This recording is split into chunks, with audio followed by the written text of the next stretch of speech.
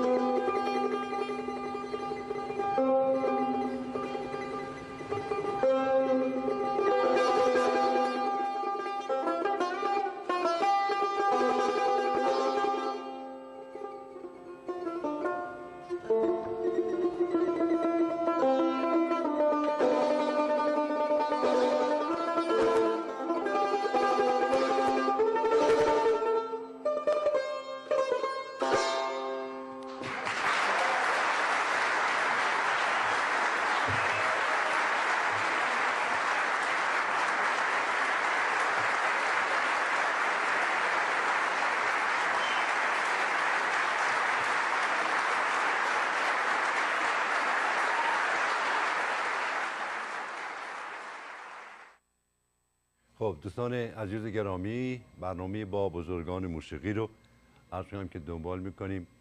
خدمت شما گفتم اگر بتوانیم ارتباطمون رو برقرار بکنیم با استاد فرهنگ شریف صحبت کنیم ببینیم که استاد حال در چه حال و هوایی هستند. یادم که چند وقتی پیش یک کسالتی داشتن که فوق دوستداران این هنرمند رو نگران کرد. خبر همه ما شنودیم.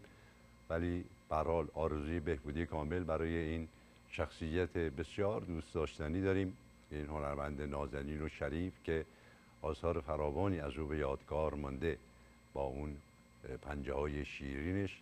این ساز بسیار بسیار واقعا دوست داشتنی رو تار رو با چه شیوایی می و چه پنجه های شیرینی ساعت فرنگ شریف داره. خدمت شما گفتم که با اکثر آوازخانه های ما همکاری داشته مخصوصا در برنامه گلها. و همینطور خود استاد فرنگ شریف هم آثاری رو نوشته آهنگای ساخته که توسط هنرمندان ما اجرا شده.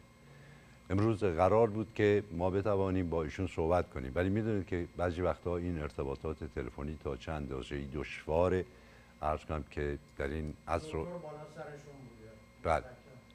بله به حال ایشون می‌دونید که خدمت شما گفتم یه مقدار کسالت داره و متاسفانه آدم نمی‌دونه که وضعیت چگونه است. الان من مطلع شدم که بالا سرشون پزشک آمده. خب نمیشه در چنین شرایطی صحبت کنیم. ان در یک فرصت دیگری با خودشون صحبت می‌کنیم و عرض کنم که صداش رو خواهیم شنود و و آثارش رو هم که نوشته علاوه بر تکنوازی های دلنشینی که از او یادگار مانده عرض کردیم که آهنگای زیبایی ساخته. در همین آمریکا که اون موقع اقامت داشت استاد فرنگ شریف چندین اثر زیبا نوشته که در اینجا هم اجرا شده.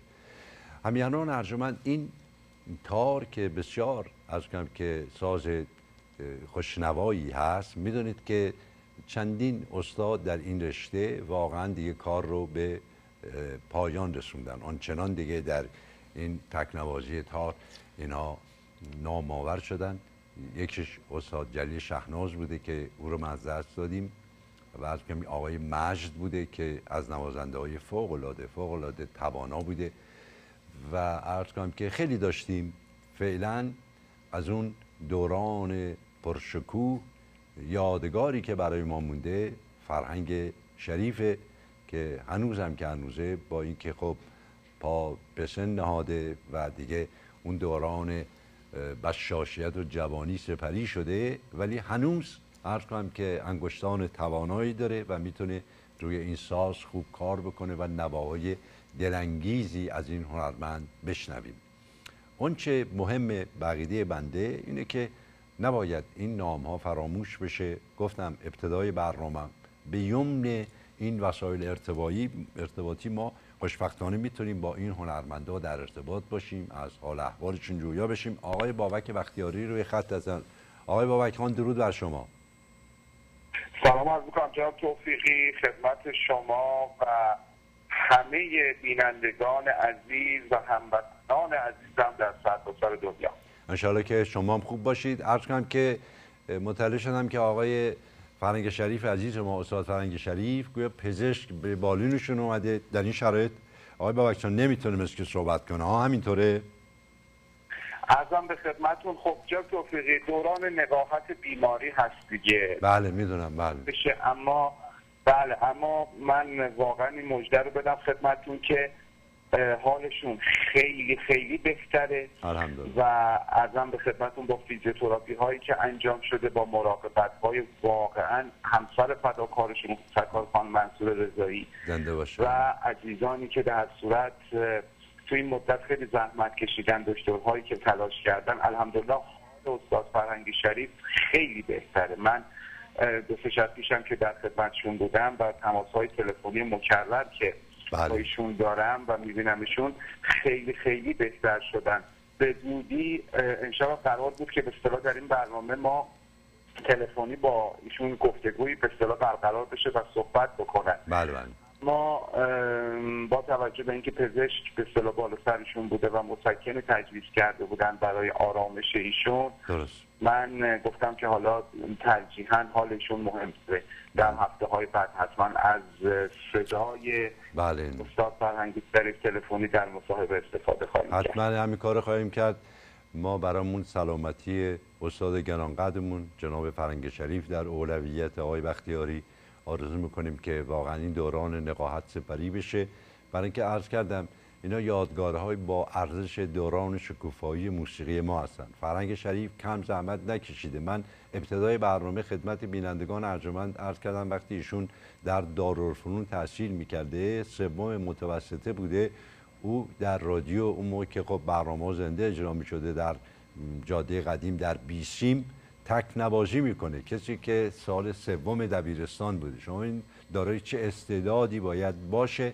و بعدم گفتم در یک کنسرتی که داشتم خوشبختانه مهدی خالدی جز مدعوین بوده. در اونجا با استاد فرنگ شریف که بسیار جوان بوده آشنا میشه. می‌خوام ببینم که شما با توجه به حشر و نشی که با استاد یاقی داشتین یکی از شاگردان جوان و برجسته پرویز یاقی شما هستید آقای بختیاری شما عرض کنم که از آقای فرنگ شریف چه شنودید؟ چون شنودهایی که شما بازگو کنید هم برای بینندگان ما برای علاقمندان به خصوص برای جوانهایی که دنبال می‌کنن این هنر والا را به نظر من عرض کنم که جالب خواهد بود. صد درصد. من جا افتاده از استاد عزیزم پرویز خان یا شنیده بودم که ایشون بله. گفتن من به صلاح همراه ارکستر دایم می‌رفتم رادیو بله با زندیات حسین یا حقی درسته بودم بله. حسین خان یا حقی بله. بله. روزی آقای شریف رو دیدم که به اصطلاح خیلی سنشون هم کم بود بله اومده بودن و من وقتی که به اصطلاح اومدم بیرون و سلام علیک انجام شد ایشون به من گفتن که بعد از برنامه شما یعنی ارکستر حسین خان یا حدی بله. من باید برم تکنوازی ضبط کنم. یا گفتم من خیلی تعجب کردم خیلی با تعجب پرسیدم شما با این سن و سال گفت گفتن بله, بله. ببینید فرنگ خان شریف در سن حدود دوازده سالگی بله. با برادر بزرگترشون منوچر خان به خدمت آقای پرویز محمود میرن پرویز بله. محمود در اون زمان مسئولیت به اصطلاح موسیقی رادیو رو بخته داشته. بله دوران. بله, بله. در تالار فرهنگ. بله. از استاد فرهنگ شریف. و وقتی که تکنوازی یک نوجوان دوازده سیزده ساله رو واقعا در این قدرت می‌بینه همونجا براش در یک تایم مشخصی برنامه در رادیو به اصطلاح مشخص می‌کنه. بله. و این بعد و آغاز فعالیت هنری استاد فرهنگ شریف است. اما بعدها همونطور که شما هم اشاره فرمودید در ارکستر مهدی خالدی و به مرور زمان با ارکسترهای مختلف رادیو آقای تجویدی پرویز یاحقی حبیب الله بدیعی با همه اینها همکاری داشته و جز اولین نوازندگان در حقیقت بله. برنامه گل ها هم بوده جاب بله درست. باید بگم که واقعا اولین برنامه هم که ایشون پر کردن به همراهی استاد علی تجویدی هست در گل های رنگارنگ. بله. جز اولین برنامه ها و جز اولین تکنوازان تار ببینید ما سه تا سبک مشخص در تاریخ موسیقی ایران در صحنه تارنوازی داریم که من به ترتیب سن بخوام بگم. لطف الله مجد بله. متولد 1296 استاد جلیل شهناز متولد 1298 که خیلی جاها 1300 نوشتن بله. اشتباه هست به سرشون به من گفتن که 1298 درسته بله. و بعد استاد فرهنگ شریف 1110 بله. این سه نفر در حقیقت به مرور ظهور کردن و سه سبک و سه لحن مختلف نوازندگی با این تفاوت که فرهنگ شریف از لحاظ سنی از آقای شهناز و مرحوم لطفالله خانمش خیلی کوچکتر بود درست. یعنی فاصله سنی ایشون دوازده تا چهارده سال بود بین اینها بله. و واقعا در اون زمان ظهور یک جوانی بله. من نسل قبل این سه نفر مثل خانواده شهنازی که حاجی اکبر خان شهنازی استاد عبدالحسین خان شهنازی که خان یا حقی برای من می‌گفتن چرا توفیقی بله. من و فرهنگ خیلی بچه بودیم یعنی تو همین تایم به اصطلاح بین دوازده سال و سیزده سال حالا بله. دو سه سال این اونور بله. گفتن که پدر فرهنگی شریف حبیب الله خان شریف که پزشک بود با عبدالحسین خان دوست بودن درسته عبدالحسین خان میمد منزل حیب خان شریف. با هم دیگه میشستن میوه میخوردن چایی میخوردن اختلاطی می‌کردن با هم دیگه. میگم من و فرهنگ از پشت پرده یواشکی می‌رفتیم. عبدالحسین خان با ما نگاه می‌کردیم. وقتی عبدالحسین خان تار می‌کرد که تار زدن عبدالحسین خان دوتایی ببینیم ببینیم. پشت پرده یواشکی. بله. ببینید این استعداد حالا پرویز یا که جاش مشخص بارها من گفتم صحبت شده تفسیر شده. استاد فرهنگ شریف استعداد و نبوغ ذاتیش از همین کودکی. تحت تاثیر پدرش حبیب الله خان که کار می‌زده. بله. رفت و آمد. عبدالحسین خان شهنازی به منزل اصطلاح پدرش و تحت تاثیر عبدالحسین خان. بله. ببینید ساز استاد فرهنگ شریف رو من واقعا اگر بخوام نسبت به در حقیقت نوازندگان قبل از خودش یک تفسیری بخوام بکنم و باز بکنم باید بگم که جام توفیقی اولا کوچهای مخصوص استاد فرهنگی شریف استفاده بیشتر از اون تضاد صدا اصطلاح تضاد صدای پوشیده بله. و باز یعنی حالا جلو عقب بردن محل مزاق زدن استفاده بیشتر از ویبره های طولی و نقم پردازی های ظریف و مینیاتوری اصطلاح با حالت های دو سیمه تک مزراب هایی که به اصطلاح با مزراب راست اجرا میشه. صدادهی قابل تشخیص لحن نوازندگی مشخص و به کارگیری جدی فن آوری های صوتی برای اون تغییر فضای موسیقیایی. یعنی اولا بله. اعتقادم بر اینه که واقعا صدایی که استاد فرهنگی شریف از تار بیرون می‌کشه از اون دل و سینه تار بیرون می‌کشه به معنای واقعی صدای زلال تار هست. هیچ ناخالصی درش وجود نداره. بعد زرافت و لطافتی که در سازش هست من همیشه تشبیه می‌کنم. صدای تار استاد فرنگ شریف مثل کریستال میمونه اینقدر واقعا شفاف و بله، لطافت زیبایی درش هست.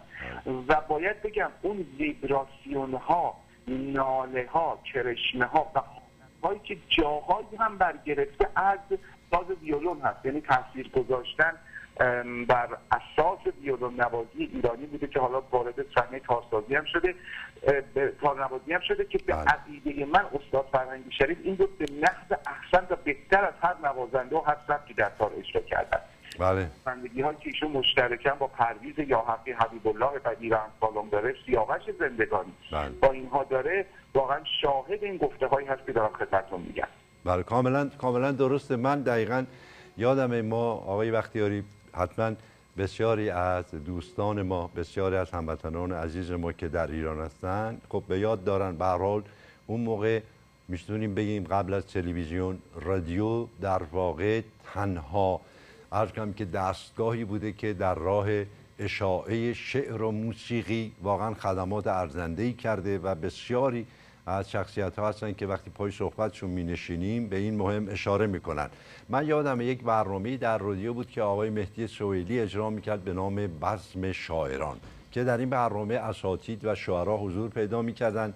ضمن صحبت هایی که می‌شد تازه ترین سروده های خودشون میخوندن و هنرمندان آوازخان ما مثل استاد اکبر گلپایگانی استاد ایرج از استاد محمودی خانساری اینا وقتی در برنامه شرکت می‌کردن همیشه استاد فرنگ شریف در واقع همراهی می‌کرد با اون.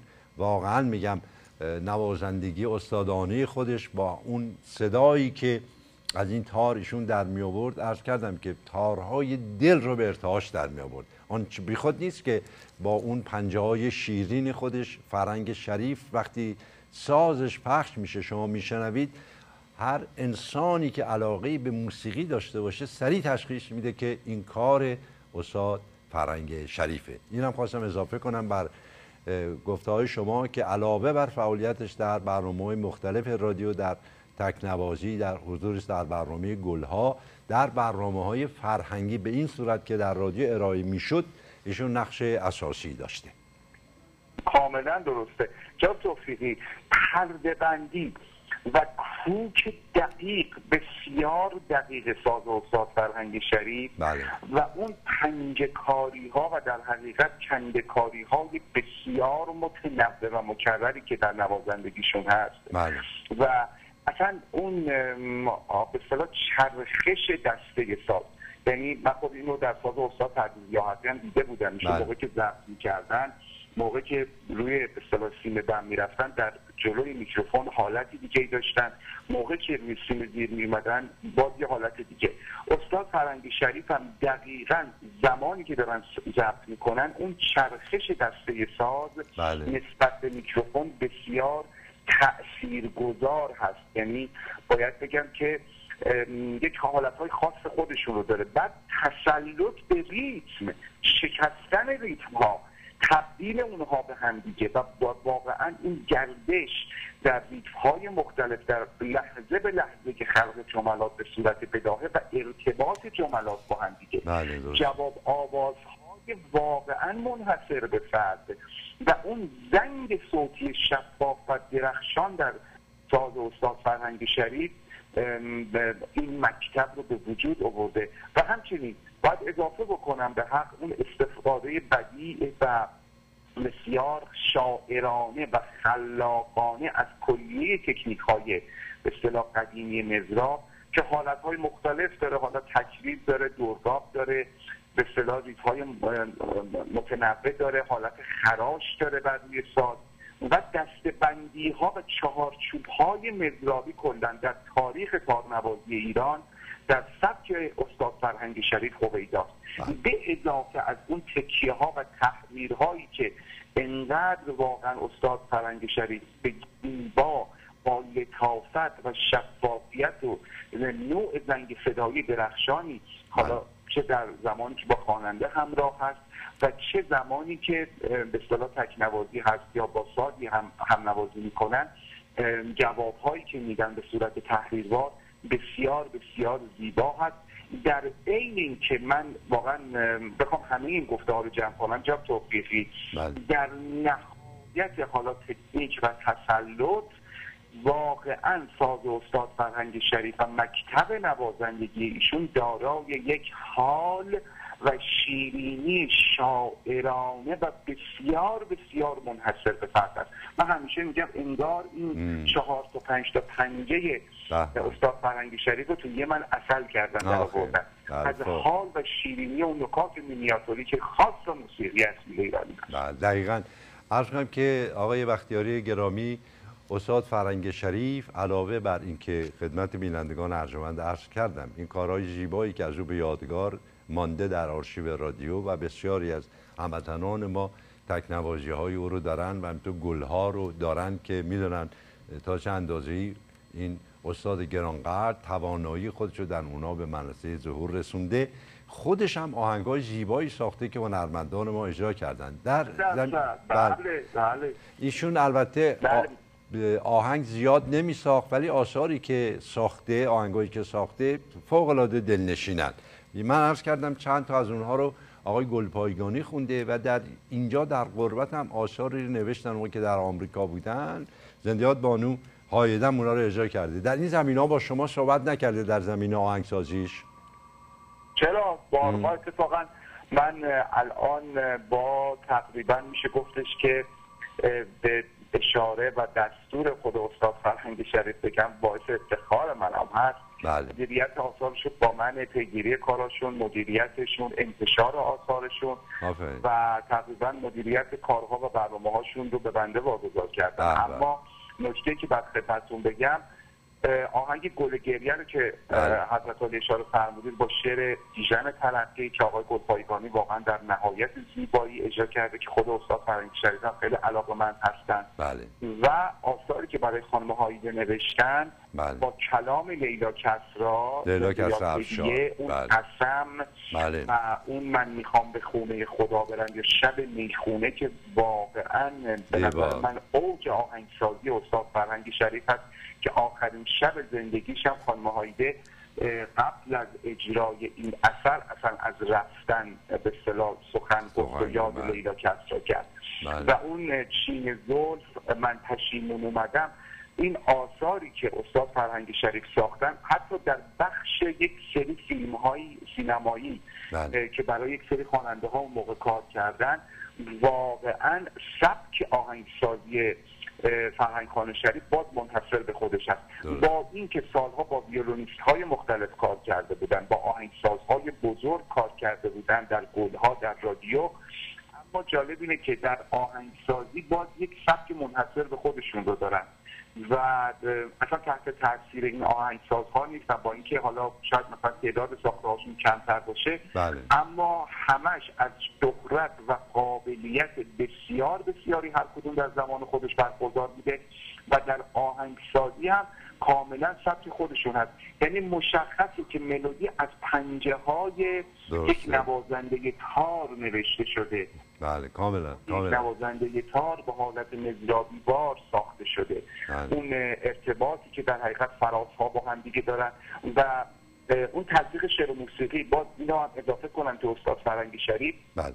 بسیار به تلفیق شعر و موسیقی حساسیت دارن یعنی بارها شده با خود من صحبت به اصطلاح می‌کنن بله. میگن حالا چه اون که بیژن طرفی کار کرده و چه این که مرحوم لیلا کسا بله. موقع که این فرازها و سیلابها به اصطلاح کلام بر روش گذاشته می‌شد من بارها اینا رو میشستم خودم با تار می‌زدم انتها می‌کردم با صدای خواننده ای که حالا مد نظرم بود خانم هایده بود یا آقای گلپایگانی یا حالا هر شخص دیگه بله. حتی با اون صدا و جای صدا و حجم صدا و توانایی های صدای اون خواننده تو ذهنم امتحان می‌کردم بعدا به سیلاب بندی سیلاب بعدی می‌رفتم و ارتباط اون کلام با موسیقی و جمله به جمله بعد رو با تار می‌زدم و امتحان می‌کردم.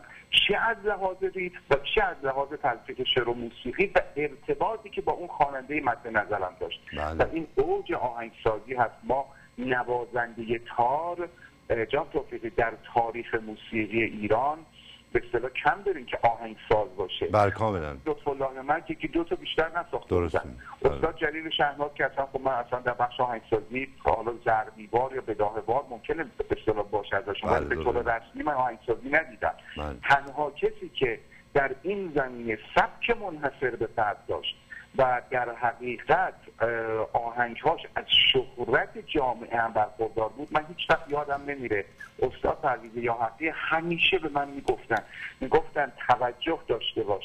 زمانی که یک اثر رو می‌نویسی در یک مشت تو اصطلاح اشخاصی هستن که به فن موسیقی واردن و اون اثر رو میشنون. بله، بله. در یک مشت تو مردم هستند جامعه هست و یک آهنگساز و نوازنده باید روانشناس باشه و اون زمانی خودش رو بشناسه. و آهنگی که می‌سازه قطعه که می‌نویسه با اون به اصطلاح اوج زمانه جور در بیاد؟ ساخته های فرهنگی شریف از همین نکته برخوردار هست. در هر لحظه و زمانی که استاد فرهنگی شریف اثری رو خلق کرده ما می‌بینیم که از شهرت خاصی در توده مردم برخوردار شده و اون روانشناسی در وجود استاد فرهنگی شریف علاوه آهنگسازی هویدا کاملا درسته. به هر حال عرض کنم که آقای بختیاری چقدر دلنشین خواهد بود انشالله در هفته های آتی که حالشون مساعدتر بشه با خودشون گفتگو بکنیم و در ضمن این توضیح هم بدم که شاید علاقمندان به موسیقی و این برنامه ایراد نگیرن چون اشاره کردیم. آقای بختیاری گفتن که کمتر نوازنده تاری سراغ داریم که مثل استاد شریف آهنگ بسازه. ولی این اواخر بندی یادمه وقتی عرض کنم که در تولید رادیو عرض کنم که هفته پیشم یا دو هفته پیش خدمت شما گفتم وقتی آقای اوشنگ ابتهاج مسئولیت موسیقی رو پذیرو به او دادن آقای محمد رضا لطفی که ایشون نوازنده تار بودن خب ایشون هم آهنگای ساختن. علاوه بر آثاری که خودشون نوشتن آقای لطفی خب چند اثر هنرمندان قدیم رو هم با توجه به طرز اندیشه خودشون با اون شیوهی که داشتن به قول مشهور اونها رو هم بازسازی کردن.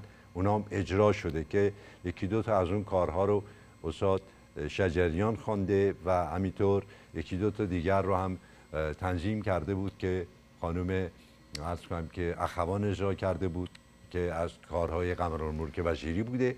می‌خواستم این هم اضافه کنم که چون می‌دونید بعضی از نکته سنجا و نکته بینا که این برنامه رو ببینم به این نکات توجه دارن برای این برنامه اهمیت داره آقای وقتیاری که ما همه بله، کسانی که زحمت بله. من منظورم بر این بود که به این شکل بله با این شیوه بله جامعه از لحاظ توده مردم بله. که در بین مردم از شهرت خاصی برخوردار باشه فقط در بین نوازندگان بله استاد فرهنگ شریف آثارشون هست. شما ببینید قسم رو که زمانی که برای خانم هایی ساختن بله. من شما شاید باورتون نشه. همین الان یک جوانی بسیار بسیار با استعداد به سبک استاد فرهنگ شریف تار می‌ذارن که من گذاشتم خود استاد هم گوش کردن کدی هم تشویقش کرد از مهاباد جوانی به بله. نام زانا. این قطعه استاد فرهنگ شریف رو این پسر جوان اجرا کرده با تار ببینید نسلی که حتی بعد از توته هایده به دنیا آمدن یعنی متولد سال 70 71 هستن. کاملا. و امروز به سن 24 5 سالگی 26 7 سالگی رسیدن. قسم که با ساخته استاد فرهنگی شریف با صدای هایده هست و خودشون هم با تار اجرا کردن بین جوانان ما شهرت داره. و ما من منظورم این هست که واقعا در تاریخ موسیقی ایران کمتر داشتیم به خصوص در بین نوازندگان تار که اینقدر آثارشون بین توده مردم از شهرت خاصی برخوردار باشه یا همین شب می‌خونه بله. گریه آقای گلپایگانی واقعا جا توفیقی از سن شاید بهتون بگم 20 21 دو سالگی من دیدم می‌خونن تا 70 80 ساله بله. این قابل تحسین هست که یک آهنگساز زمان خودش رو بشناسه که وقتی اثر خلق می‌کنه در دل اون جامعه به شهرت برسه. بله کاملا کاملا فرمایشات شما توضیحاتون به جا و درسته. بندم این توضیحی که دادم فقط خواستم چون می‌دونید آقای وقتیاری این دور زمانه ما طوری شده که متاسفانه بعضی ها منتظر هستن که یه نکته ای بگیرن اون رو بزرگش جلوه بدن. تصورشون برای اینه که در یک برنامه تقریبا 52 دقیقه 3 دقیقه آدم می‌تونه این اقیانوس عظیم رو طی کنه. نمیشه. ما فقط می‌تونیم واقعا قطره ای از این دریا رو بیان بداریم. بلکه واقعیت قضیه اینی که این دامنه موسیقی ما موسیقی ایرانی که حالا با بیمهری مواجه شده بسیار وسیعه. حتی بسیاری از اساتید ما وقتی آدم یادداشتاشون رو می‌خونه صحبتاشون رو میشنوه می‌بینه که تا چه اندازه ای از موسیقی ما غربیا استفاده کردن سود بردن. ولی متاسفانه مال ما به خاطر همین ممانعت ها همین موانعی که بر سر راه فعالیت هنرمندا قرار می‌دادن همیشه یک زمانهایی رو ارکم ایجاد کرده که این هنرمندهای ما ناکام موندن. یک واقعیت این رو قبول بکنیم. کاملا فرمایشتون متینه. بله. کاملا متینه جناب توفیقی. من بارها خودم با این نکته ها برخورد کردم. اما فقط این نکته رو داخل پرانتز خدمتتون بگم. من به جرأت بهتون میگم. امروز در یک تو برنامه پیشم گفتم. بله. امروز جوانان حتی هیچی جناب توفیقی نوجوانان 15 16 ساله تا بین حالا 26 ساله رو من می‌بینم بله. تمام برنامه گلها رو حفظن بله. تمام آثار بزرگانی مثل استاد تجویدی استاد یاحقی استاد فرهنگ شریف تمام آثار اینها رو از بحر می‌خونن همین الان خدمتتون بگم به اصطلاح یک جوانی از نوجوان از آباده شیراز محمد طاهری بله. استاد همایون خرم در مخالف سگاه با بله. ویولون رسوای زمانه. بله. برای من زده. اصلا از این استعدادها من به حیرت میام. بله. یعنی اسم ترانه سرا کلام. ارزم به خدمت تا اسم صدا بردار های برنامه گل ها رو دونه به دونه همه رو حفظن. اعلام برنامه ها رو همه رو حفظن. و این جای امیدواری داره که به نظر من آثار بزرگانی حالا از روح الله خالقی استاد وزیری تا یاحقی و تجویدی و خرم و بدی بگیرید استاد فرنگی شریف مشت شهناز برزنده در بین جوانان نوجوانان 15 سال تا 30 سال جوان خود من زمانی به دنیا اومدم که تقریبا که اصلا برنامه گل هایی وجود نداشته. بله. 56 57 این جوانان هم که سنشون باز از من کمتره اینها هم زمانی به اصطلاح متولد شدن که دیگه اصلا خیلی کم اثری از گل بوده. اما بله. با استفاده از کاست ها و اون چی که در منازل در آرشیف ها وجود داشته می‌بینم با سختی تمام با استعدادشون چه در نوازندگی و چه لحاظ حالا پرورش های و بهی و بله. علاقمندان به موسیقی تمام آثار گلها و بزرگان موسیقی ما رو می‌شناسن و این جای امید برای آینده موسیقی ایران داره که کسان انشالله باشن راه استاد فرهنگ شریف رو ادامه بدن این بله. مکتب رو ادامه بدن و واقعا اینها غیر مستقیم دست پرورده های مکتب استاد فرهنگ شریف هستند که باید این راه در تاریخ موسیقی ایران همیشه و همیشه جاودان و پایه بله بسیار سپاسگزارم. بابک عزیز و بابک بختیاری از حضورتون در برنامه. فعلا با شما خداحافظی می‌کنم و تا برنامه بعدی که در خدمتتون باشیم و توفیق یار ما باشه که بتونیم از کنم که صدای استاد فرهنگ شریف رو هم بشنویم.